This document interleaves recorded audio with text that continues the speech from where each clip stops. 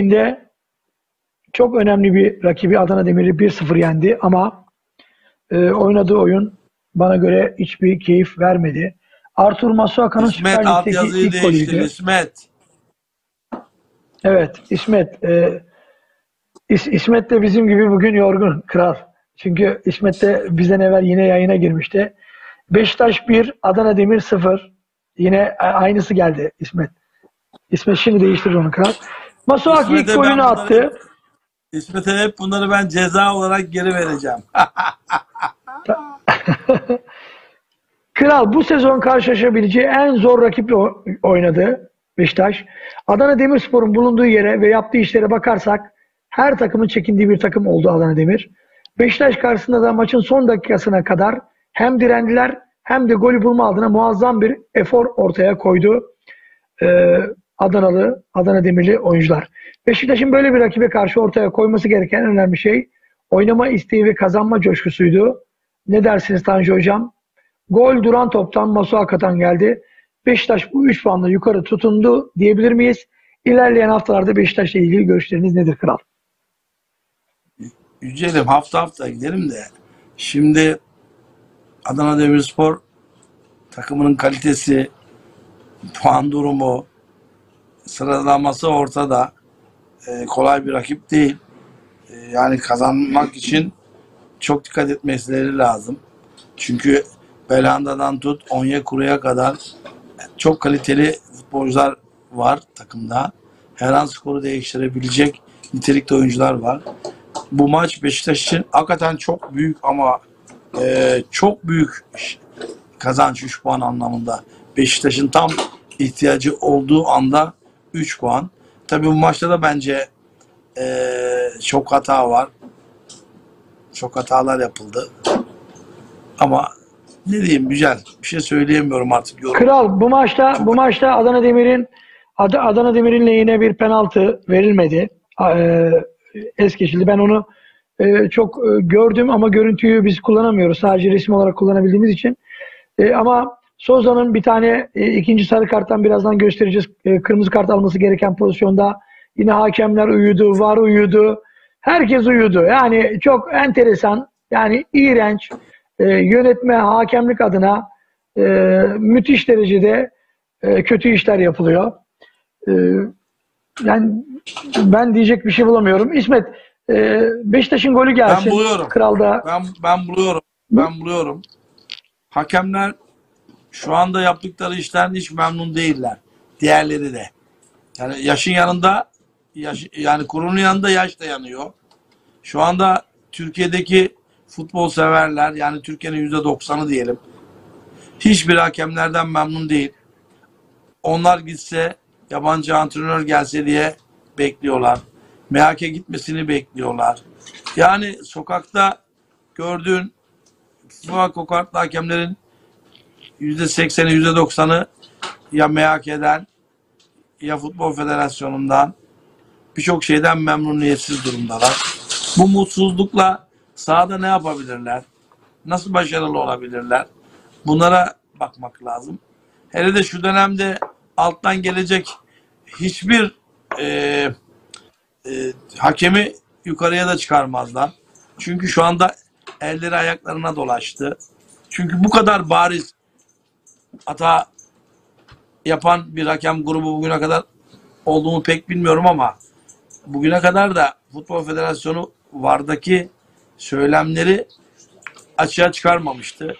Bence bunu yine Futbol Federasyonu Başkanı e, bu şeyleri üzerine, üstlerine, üzerine almamak için okları dedi ki ben dedi hakemleri satayım hakemler dedi muhatap olsun verelim vardaki kayıtları biz kurtulalım mantığında hareket etti diye düşünüyorum Yücel. Yani e, ama bundan sonra daha kötü. Çünkü herkes hepsini isteyecek. E, kötü mü oldu, iyi, o- iyi mi oldu göreceğiz. İsmet bir büyütelim mi analizi? diyecek, herkese Kral da de konuşsun. vermek zorundalar. Evet. Kral yine gollerin %70'i duran ve dönen toplardan olur. Beşiktaş e, bir duran top kazandı. Masuaku e, burada kaleci bence Ertaç e, hatalı yedi. Bu pozisyonda alabileceği topu kapadığı köşeden yedi. Yine baraj kötüydü. 1-0 öne geçti Beşiktaş. Ee, Beşiktaş'ın da kaçırdığı goller var. Adana Demir'in de. 2 numara gelsin İsmet. Kral. Ee, Souza'nın daha evvel sarı kartı vardı. Bu hareket ikinci sarı kartı gerektirmez mi? Souza yatarak müdahale ediyor. Belanda'nın tam baldırına arkadan giriyor. Ee, yani burada da yine es geçilen bir kırmızı kart var. Kimse konuşmuyor. Kimsenin bu konuyla ilgili ağzını açan yok. Yine 3 maymunu oynuyor herkes. 3 numara gelsin İsmet. Kral ne dersin bu pozisyona? Kırmızı, kırmızı kartın babası bu babası. Ya, ya işte. Ben penaltıyı almadım. Çünkü görüntüde eliyle itiyor. Ee, videoda da çok daha rahat gözüküyor. Adana Demir'in mutlak bir penaltısını vermedi. Hem, Ee, hem de Ali Şan- Ali Şansalan. Ali Şansalan. Bu maçın hakemi Ali Şansalan. 3 numara gelsin İsmet. Şans alan şans aldı gitti. Bundan sonra şans alan olmayacak. Şans veren ve yedekte bekleyen. İsmet 3'ü verir misin? Evet. Zor oldu. Şunu- Kral. maç Evet. B- büyütür müsün İsmet? C'était c'était très difficile aujourd'hui. Voilà, on sait que c'était une bonne équipe. On, les- on les a pas sous-estimés. Evet. Kral bir yerden ses geliyor ama. Kral e, Tamam dakika kapattım. evet. Burada dakika 57 Onyekuru alıyor, gidiyor. Zaten evlere şenlik Beşiktaş e, defansı her zamanki gibi. Aldı atması verdi Gulbrandsen'e. Gulbrandsen penaltıdan daha yakın. Zaten var orada bakın. Penaltı noktasını görüyoruz. 5 defansa 3 hücumcu. Gulbrandsen yani zor olanı yapıyor. Topu dışarı atıyor. Ve bu maç e, yine Beşiktaş'ın da Adana Demir'in de karşılıklı. Ben onları almadım çünkü çok fazla artık bu tarz şeyler almak istemiyorum. E, hem süremiz uzamasın hem de gol analizleri yapalım diye. Ve 1-0 kazandı Beşiktaş. Verilmeyen penaltı, verilmeyen kırmızı kart. İşte e, Hiç kimsenin Beşiktaş ve Şenol Hoca ile ilgili ne dersin? Nerede nerede Şenol Hoca? Nerede e, yönetim? Nerede açıklamalar? Hani nerede? He? Demek ki çuvaldızı önce kendine baktıracaksın. Bence Beşiktaş sınıfta kaldı. Sessiz bir şekilde Fenerbahçe, Galatasaray hep onları dinliyor.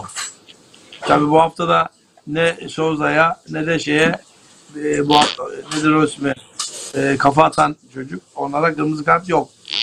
Yok. Yok ya zaten e, işte bir hafta ona bir hafta buna canı yanan ancak o zaman geliyor. Ama Anadolu takımlarının sesi yine az duyuluyor. Maalesef Türkiye'de futbol bu. Kral artık yavaş yavaş yayınımızın sonuna geldik. Mehmet Mas sizleri seviyorum iyi ki varsınız demiş. Selamlar Mehmet'e, Mehmet abiye. Haluk Küse iyi hayırlı akşamlar 14'üne abilerim. Gecenin 15'ine kadar süre verdim. Ayın 15'ine kadar.